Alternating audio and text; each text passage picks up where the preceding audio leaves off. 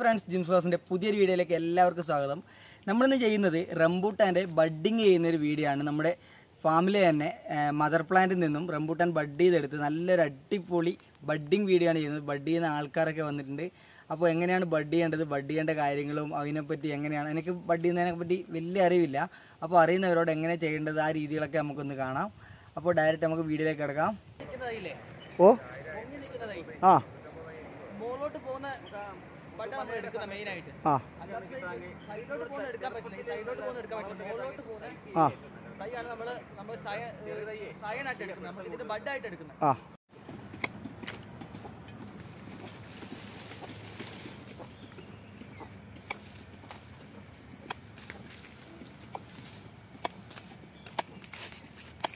Bud എടുക്കുന്ന തണ്ടിന്റെ full ഇലയും കളയണം അല്ലേ ഓരോ ഇലയും കളയുന്ന ഓരോ ബെഡാ. വേറെ കണ്ണാ അത്.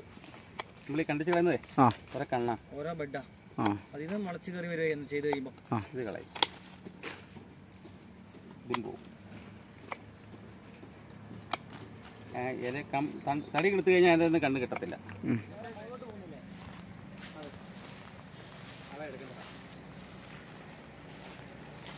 പറഞ്ഞോ. മുകളിലോട്ട് പോകുന്ന ബഡ നമ്മൾ എടുക്കുന്നത് നേരെ മുകളിലോട്ട് പോകുന്ന കമ്പ്. ഈ സൈഡിലോട്ട് പോകുന്ന കമ്പ് എടുക്കാൻ പാടില്ല. എടുത്ത പിടുത്തവും കുറവായിരിക്കും. പിടിക്കത്തില്ല പിടിക്ക പിടുത്തം കുറവെന്നല്ല നല്ല പിടുത്തം കുറവായിരിക്കും. നേരെ മുകളിലോട്ട് പോകുന്ന കമ്പ് പെട്ടെന്ന് നമുക്ക് ബഡ് പിടിച്ച് കിട്ടും ചെയ്യുമ്പോൾ.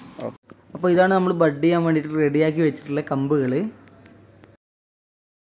നമ്മളെ ഫാമിലെ റംബൂട്ടാന്റെ തൈ ഇത് കുരുവിട്ട് മുളപ്പിച്ചതാണ്. ഇതിപ്പോൾ നമ്മൾ ബഡ് ചെയ്തിട്ട് ആൾക്കാർക്ക് വേ ആൾക്കാർക്ക് വിതരണം ചെയ്യാൻ വേണ്ടിയിട്ട് നമ്മൾ തയ്യാറാക്കാൻ വേണ്ടിയിട്ടുള്ള പരിപാടിയാണ് നടത്തുന്നത് ഇപ്പോൾ.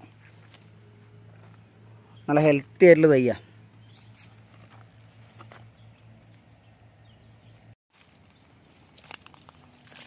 ഇവർ രണ്ടുപേരാണ് നമുക്ക് ബഡ് ചെയ്ത് തരാൻ വേണ്ടിയിട്ട് വന്നിട്ടുള്ളത്. ഒന്ന് പരിചയപ്പെടുത്തോ? എന്റെ പേര് റിജോ.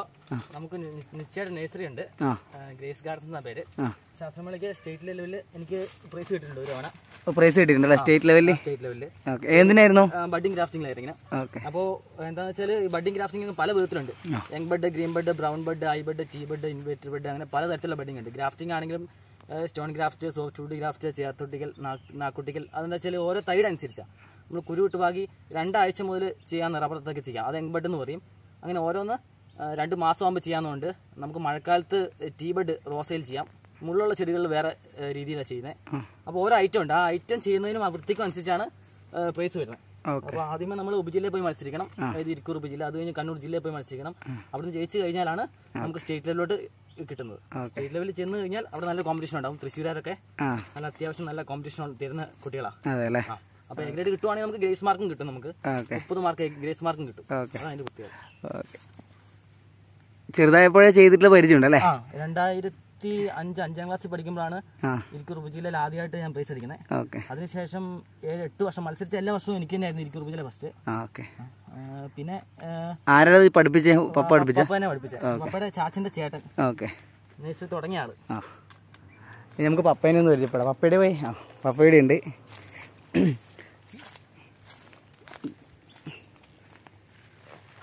ഇതാണ് ബജാറിന്റെ ചേട്ടന്റെ പേരെന്ന് പറഞ്ഞോ? ജോർജ് കുട്ടി. പാരമ്പര്യമായിട്ടുള്ള പരിപാടി തന്നെ അല്ലേ? അതുപോലെ ചെയ്തു കൊടുക്കലാണ് മെയിൻ ആ ലോണാ? ലോൺ ചെയ്തു കൊടുക്കലാണ് മെയിൻ പരിപാടി. ആ. നഴ്സറി ഉണ്ട്. ആ. അപ്പോൾ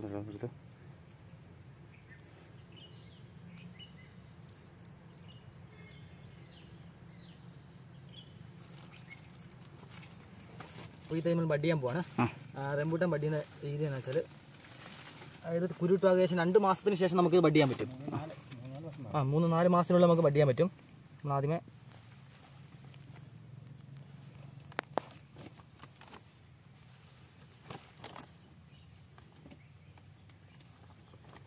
നാല് സൈഡ് വരഞ്ഞു വെക്കുന്നു. അതിനുശേഷം ഒന്ന് ബഡ് എടുക്കാൻ പോവുകയാണ്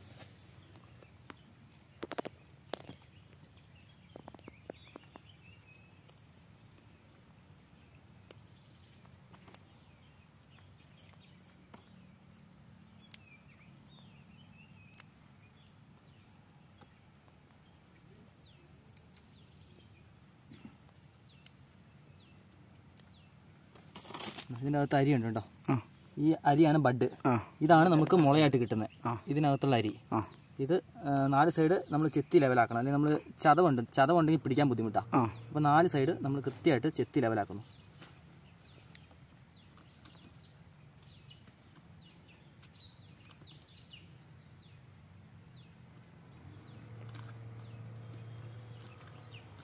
അതിനകത്ത് പൊടിപടലം ഒന്നും പാടില്ല. പൊടി ഉണ്ടെങ്കിലും പിടിക്കാൻ ചാൻസ് പറയും നാല് സൈഡ് ക്ലിയർ ആക്കി നമ്മൾ ഇവിടുന്ന് ഇത് പൊളിച്ചെടുക്കണം. ആദ്യം മുറിച്ച് വെച്ച ഭാഗത്ത് നിന്ന് പൊളിച്ചെടുക്കും പൊളിച്ചെടുക്കുന്നു. മണ്ണിൽ നിന്ന് എത്ര ഹൈറ്റിൽ ഇതുപോലെ കട്ട് ചെയ്യാൻ പറ്റും? ഇതിപ്പോൾ നമ്മൾ ചെയ്തിരിക്കുന്ന ഹൈറ്റ് ഉണ്ടല്ലേ ആ. ഇത്ര ഹൈറ്റിൽ ചെയ്യാം. ഒരു മൂന്ന് ഇഞ്ചല്ലേ അത് ആ അല്ല. നാല് നാലര ഇഞ്ച് നാലര ഇഞ്ച് കൂടെ നോക്കി ചെയ്യുന്നതിന് വല്ലത് ഈ കൂടയുടെ വലിപ്പം കൂടി നോക്കിയിട്ട് ഓക്കെ ഓക്കെ.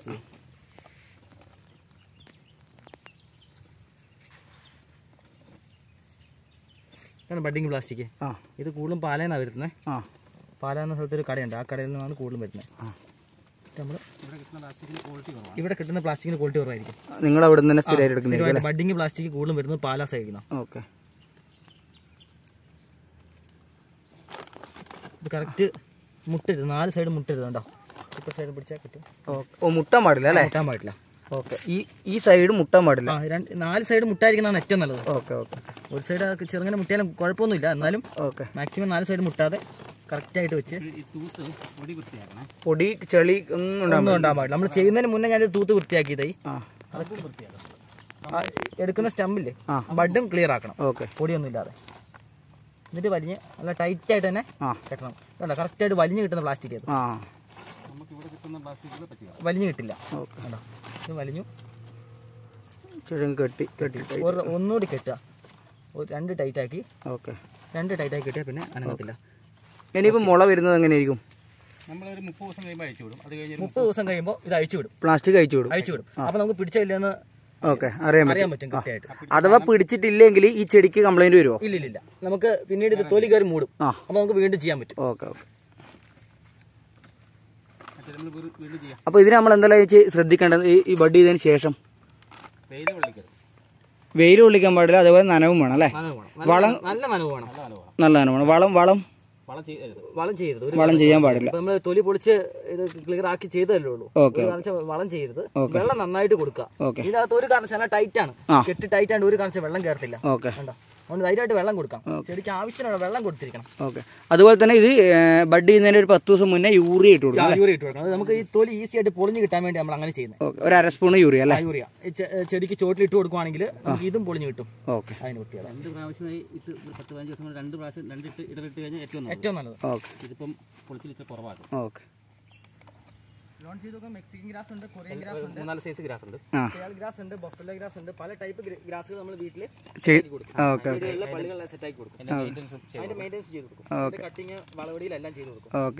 നിങ്ങൾ ആരല്ല ചെയ്യുന്നത്. നിങ്ങൾ ഫാമിലി മമ്മി പപ്പ ഞാൻ അനിയൻ. അനിയൻ. ഞങ്ങൾ പുറത്ത് പണിക്കൂലി കൊടുക്കാറില്ല. ഞങ്ങൾ തന്നെ ചെയ്യുള്ളൂ എല്ലാവർക്കും അറിയാം ഗാർഡന്റെ പണി. അതെ അല്ലേ? ശരി ശരി. ഓക്കെ.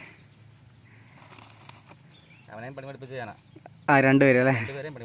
ഓക്കെ. മറ്റവന് സ്റ്റേറ്റ് പങ്കെടുത്തോന്നാ അതെ അല്ലേ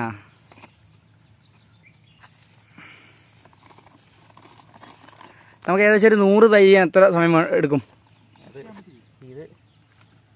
നല്ല ഈസി ആയിട്ട് തൊലിയൊക്കെ പൊളിഞ്ഞ് കിട്ടുന്നെങ്കിൽ നമുക്ക് പെട്ടെന്ന് പണി തീർക്കാം. ഒരു ദിവസം വരാം ഒരു പത്ത് മുന്നൂറെണ്ണം വരെ അതിക്കുള്ളിൽ പോകരുത് ഒരാൾക്ക് മുന്നൂറെണ്ണം ചെയ്യാൻ പറ്റും അല്ലേ? കഷ്ടിയാ. ഓക്കെ. നല്ല കമ്പും റബ്ബർ പോവും. ഇത്രയും റംബുട്ടാൻ അത്ര സ്പീഡിൽ പോകത്തില്ല. നമ്മൾ മെയിനായിട്ട് ഇപ്പോൾ നമ്മൾ ഈ കേരളത്തിൽ ബഡ് ചെയ്യുന്നത് എന്തൊക്കെയാണ്? മെയിനായിട്ട് എല്ലാം ചെയ്യും. ഏറ്റവും കൂടുതൽ റബ്ബറാ ചെയ്ത് ആ. പിന്നെ റംബൂട്ടാൻ റോസ റോസ ബഡ് ചെയ്ത് വരുന്നുണ്ട് ആ. ചില നേഴ്സറിക്കാർ മാത്രമേ ഏറ്റവും കൂടുതൽ ചെയ്ത് വരുന്ന റബ്ബറാണ് റംബൂട്ടാൻ പ്രചാരത്തിൽ ഇപ്പൊ തുടങ്ങിയിട്ട് അധികമായിട്ടില്ല ആയിട്ടില്ല. അന്നേരം മുതലാണ് റംബൂട്ടാൻ കൂടുതലും ചെയ്തു വരുന്നത്. ആരിക്കും ബഡ് ചെയ്യാൻ താല്പര്യം നിങ്ങൾ പഠിപ്പിച്ചു കൊടുക്കുമോ ഓ പഠിപ്പിച്ചു കൊടുക്കും തീർച്ചയായിട്ടും. നിങ്ങൾ ഇവിടെ വന്നാൽ മതി അല്ലേ? ആ നമ്മൾ നഴ്സറി വരുമോ അല്ലെങ്കിൽ നമ്മളെ കോൺടാക്ട് ചെയ്ത് ചെയ്യാൻ മതി. ഓക്കെ. അവന് ഗാർഡൻ വല്ലതും ചെയ്ത് കൊടുക്കണമെങ്കിൽ അവ ചെന്ന് ചെയ്ത് കൊടുക്കും. ഓക്കെ. ചെയ്യുമ്പോൾ വൃത്തിക്ക് ചെയ്ത് കൊടുക്കും. അല്ല വീട്ടിലൊക്കെ ചെയ്തിട്ടാണെങ്കിൽ പറഞ്ഞാൽ നമ്മൾ വന്ന് ചെയ്ത് കൊടുക്കും. ഓക്കെ. ഏതാ? ആ. ആ മുന്നേ ആൾക്കാർ ചെയ്ത ഗാർഡൻ ആയാലും മെയിന്റെനൻസ് ചെയ്യും അല്ലേ? ഓക്കെ. ഇത് നമ്മൾ ബഡ് ചെയ്ത് റെഡിയാക്കി വെച്ചിട്ടുണ്ട്. ഇനിയിപ്പോൾ മുപ്പത് ദിവസം കഴിഞ്ഞിട്ട് വേണം ഈ കവറ് അഴിച്ചു നോക്കാൻ വേണ്ടിയിട്ട്. ഈ പ്ലാസ്റ്റിക് അഴിച്ചാൽ നമുക്ക് ഇതിന്റെ മുള പിടിച്ചതാണോ കാര്യങ്ങളൊക്കെ മനസ്സിലാകാൻ വേണ്ടി പറ്റും.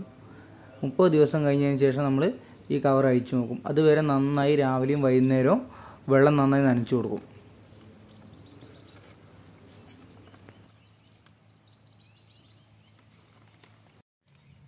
നമ്മൾ ബഡ് ചെയ്യാൻ വേണ്ടിയിട്ട് ഇതിനെന്താ പറയുന്നത് ഈ പീസിനെന്താ പറയുക നമ്മളെ? ബഡ് ഈ ഇല ഇങ്ങനെ കിളുത്ത് വന്നതിനാണ് ബഡ് എന്ന് പറയുന്നത് അപ്പോൾ ഈ ബഡ് ഇല വന്ന ഈ ബഡാണ് നമ്മൾ മുറിച്ചെടുക്കുന്നത് ഇതുപോലെ സ്ക്വയർ പോലെ മുറിച്ചെടുക്കും. വേഗം പഠിച്ചെടുക്കാൻ പറ്റുമോ നമുക്ക്? ഓ പെട്ടെന്ന് പഠിച്ചെടുക്കാൻ പറ്റും. അടുത്ത പോലെ എനിക്ക് ഒറ്റയ്ക്കാൻ പറ്റും നിങ്ങളെ വിളിക്കാതെ? അതെ. ഇത് നമ്മൾ കുരുവിട്ട് ബാക്കി നമ്മൾ സ്റ്റോക്ക് റെഡിയാക്കുന്നു. ആ ഇതിന് സ്റ്റോക്ക് എന്ന് പറയുന്നത് അല്ലേ?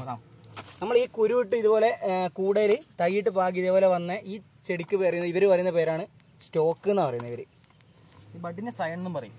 ബഡിനെ സയൺ സയൺ ഇതേപോലത്തെ മുറിച്ചെടുത്ത ബഡിനെ സയൺ എന്ന് പറയും. സ്റ്റോക്ക് സയണുമായിട്ട് കൂട്ടി യോജിപ്പിച്ച് മുളപ്പിച്ചെടുക്കുന്നു. അതാണ് ബഡിങ് എന്ന് പറയുന്നത്. സ്റ്റോക്ക് ഇത് സ്റ്റോക്ക് ഇത് സയൺ- സയണുമായിട്ട് കൂട്ടി യോജിപ്പിക്കുന്നതിന് ബഡ് എന്ന് പറയും. ഇത് നാടൻ നമ്മൾ ഇടുന്നു സാധാ കുരുവിട്ട് സ്റ്റോക്ക് തയ്യാറാക്കി എടുക്കുന്നു. നല്ല ഇനം നന്നായിട്ട് കായ്ക്കുന്ന ഇനത്തിന്റെ നമ്മൾ സയണായിട്ട് എടുക്കുന്നു. അത് ബഡായിട്ട് എടുക്കുന്നു. മദർ പ്ലാന്റ് എന്ന് പറയും മദർ പ്ലാന്റ്. മദർ പ്ലാന്റിൽ നമ്മൾ ബഡ് എടുത്തിട്ട് സ്റ്റോക്കിലോട്ട് ഒട്ടിച്ച് ചേർത്ത് പിടിപ്പിച്ചെടുക്കുന്നു. പിന്നെ ചില ആൾക്കാർക്ക് കൂടെ മാറ്റുന്ന സമയത്ത് ഈ ബഡടക്കം താഴോട്ടേക്കായാൽ അത് നാടൻ തയ്യലിനായിട്ട് മാറും അല്ലേ? അപ്പോൾ നമ്മൾ ഇന്നത്തെ ഈ ചെറിയൊരു വീഡിയോ എല്ലാവർക്കും ഇഷ്ടപ്പെട്ടെന്നായിരിക്കുന്നു വീഡിയോ ഇഷ്ടപ്പെട്ട് നമ്മളെ ചാനൽ ലൈക്ക് ചെയ്യുക ഷെയർ ചെയ്യുക സബ്സ്ക്രൈബ് ചെയ്യുക. അപ്പോൾ അതുപോലെ തന്നെ ഇവരുടെ നമ്പർ ഞാൻ ഇതിന്റെ അടിയിൽ കൊടുക്കും. നിങ്ങൾക്ക് ആർക്കെങ്കിലും ഉപകാരപ്പെടുന്നതായി നിങ്ങൾ വിളിക്കുക. വിളിച്ചാൽ കറക്റ്റ് പറഞ്ഞു കൊടുക്കണം കേട്ടോ. ആർക്കും ഗാർഡന്റെ വർക്ക് വന്നുകൊണ്ട് വിളിക്കുക. അപ്പോൾ അടുത്തൊരു അടിപൊളി വീഡിയോ ആയിട്ട് വേണം. ബൈ